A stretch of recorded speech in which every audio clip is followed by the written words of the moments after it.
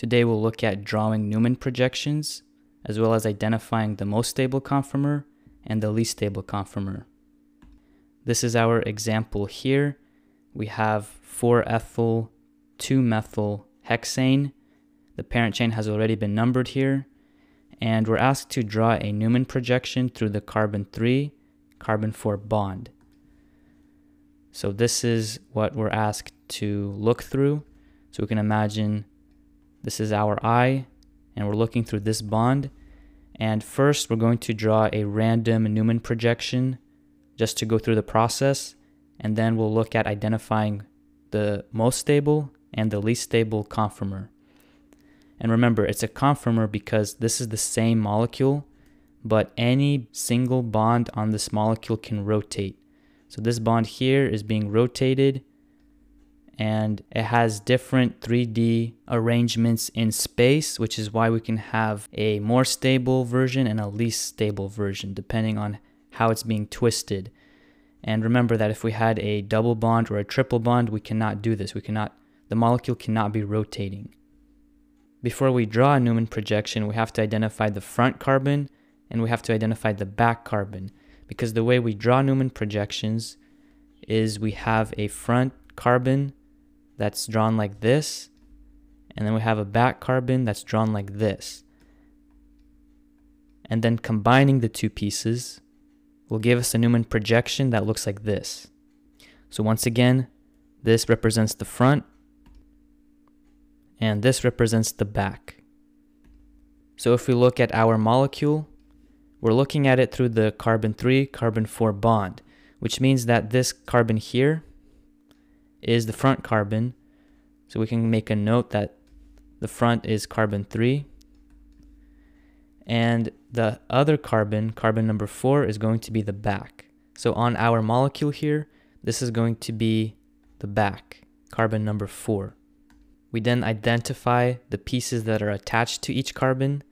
So on carbon number 3, we have this group here. This is an isopropyl group. It can be identified or it could be written as CH, CH3, 2.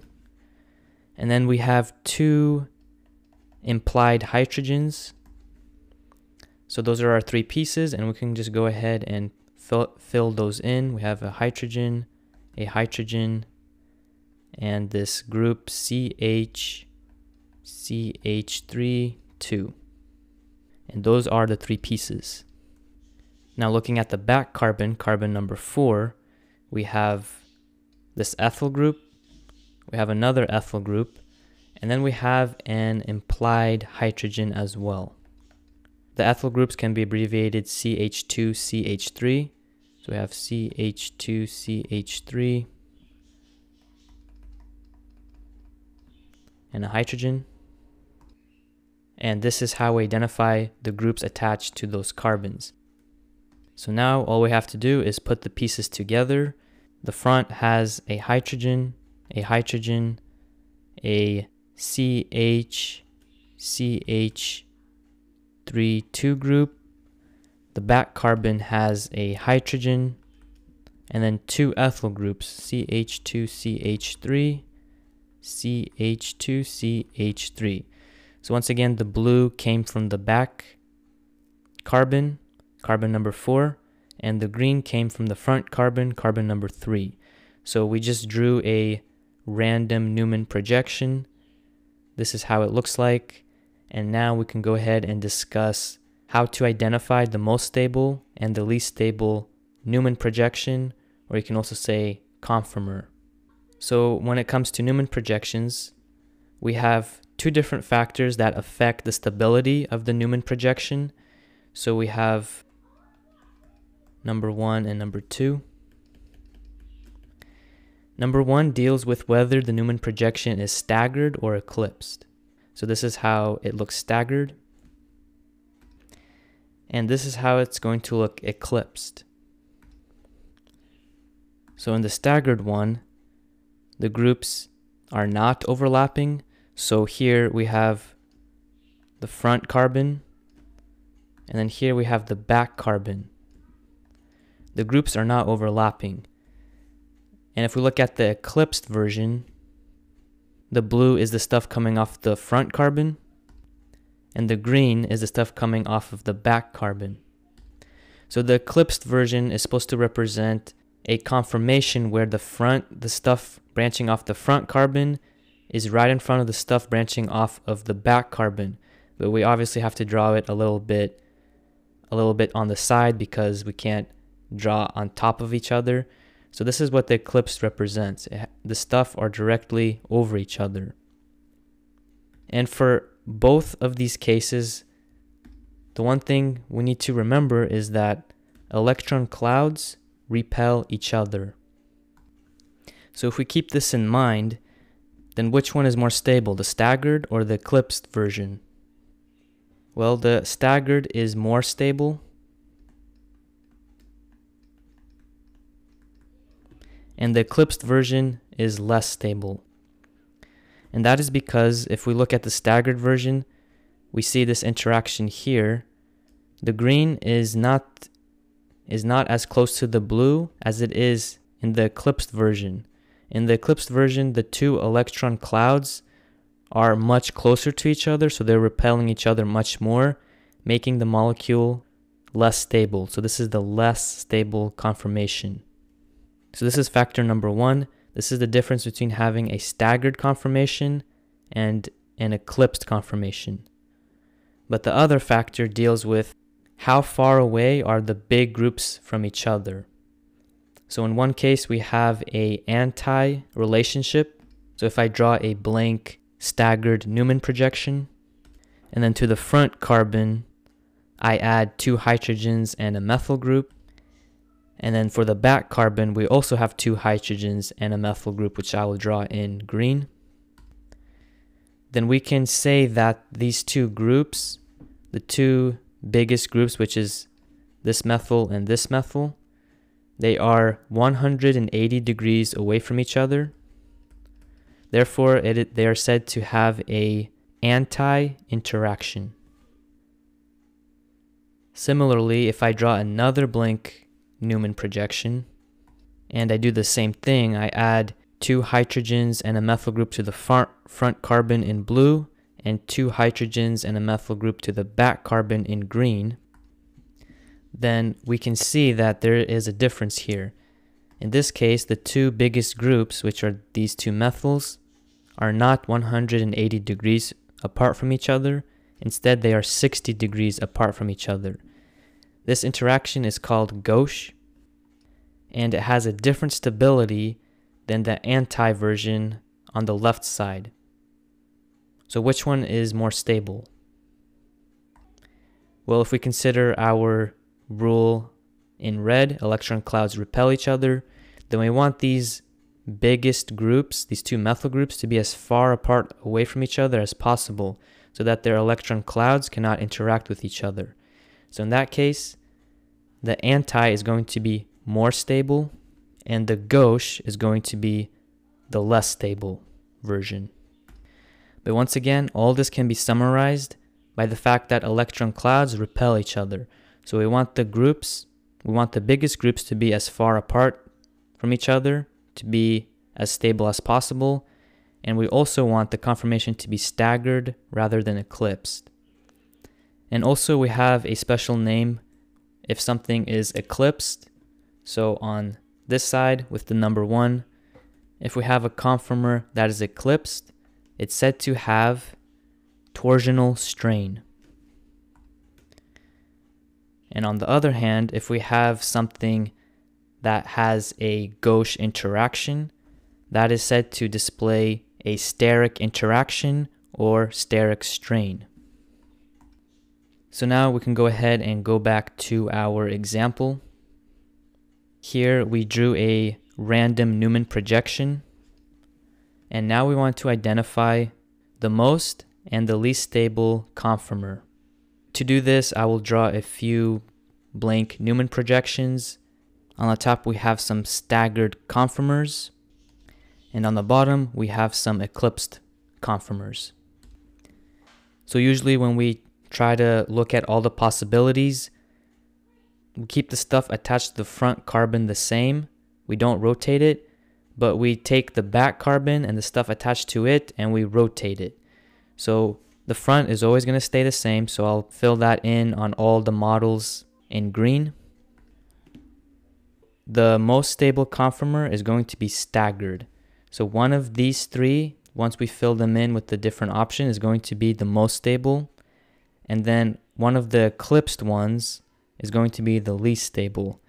So now we fill in each of these Newman projections with a different possibility of how the back carbon can be aligned. Because remember, we're rotating about the carbon 3, carbon 4 bond. So I'll go ahead and mark the back ones in blue. You can always start randomly, so you can put an H, a CH2CH3, CH2CH3. So you can just put the back ones on randomly and then start rotating. So when you rotate, you're going to put this one down here. You're going to take this one, move it up here, and you're going to take this one and move it here. Have a hydrogen there, CH2CH3, the ethyl group, CH2CH3, the other ethyl group, and then we do the same thing. We make a rotation. Now the hydrogen in the back is down here. And then our two ethyl groups are on the top. Okay, so we already discussed that the staggered conformer is always going to be the more stable version compared to the eclipsed because the groups are further apart. But now we have three options and we have to pick which of these three options is the most stable. So now we have to consider if we go back, we have to consider the steric strain. So we have to look at this piece here and decide where the biggest groups are compared to each other. So if we look at the first staggered, we have an interaction here between a isopropyl group in green and a ethyl group in blue. This is the one of the gauche interactions and this is something we don't want. Looking at the second one, we also have this interaction between a ethyl and an isopropyl. They're gauche to each other. Once again, we don't want that.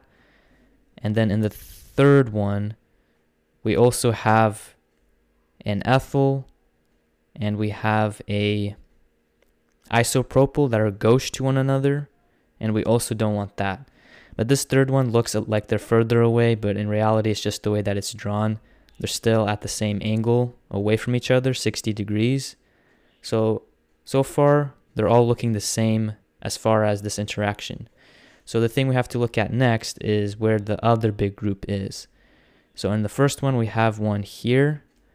This one is 60 degrees away from the isopropyl group. Then we have this in the second one, we have the group here, and this is 180 degrees away from this isopropyl group in green. The isopropyl group is the biggest group. It has three carbons, so we need to pay attention to that. And then finally, on the third one, we have the ethyl group here for the, on the back carbon, and it is also 180 degrees away from this large isopropyl group in green. So if we look at the first one, the first one, we have the ethyl group that is gauche to this large isopropyl group. So this one is not going to be the most stable. Because the other two, remember, we said that it was 180 degrees away. And if you're wondering how to measure the degrees here, basically in the staggered version, every Every distance from one line to the other represents 60 degrees. So we have 60 degrees plus 60 degrees plus 60 degrees. This group here is 180 degrees away from that isopropyl, but it is 120 degrees away from the other ethyl group in blue on the back carbon. This is for the second conformation here. If we look at the third one, it is also 180 degrees away from the isopropyl group and also one, um, 120 degrees away from the other ethyl group. So basically what this is saying is that structure 2 and structure 3 are actually the same. So either of those would work and either of those would count as the most stable. Similarly, for the eclipsed conformers, we can go ahead and on the first one in blue, just randomly list the three stuff branching off the back carbon, which is a hydrogen and two ethyl groups. And then from there, we'll just rotate and rotate to get all the possibilities. So here is the first conformer with the stuff branching off the back carbon randomly put as hydrogen, ethyl, ethyl. And then from here, we're going to rotate this way. We get this conformation. I moved them all down a bit to have more space. But basically we have our hydrogen up here now on the back carbon, ethyl group here, ethyl group here. And then we'll do this one more time. And now we have the hydrogen here and the two ethyl groups here and here. And once again, the eclipsed is going to be less, always less stable than the staggered version. So what we're trying to find here is we're trying to find which one is the least stable. So we know that it's one of the eclipsed versions. So now we have to decide which one. So in the first one, there is a interaction between this isopropyl and this ethyl. And then we have the other ethyl being 60 degrees away from one ethyl.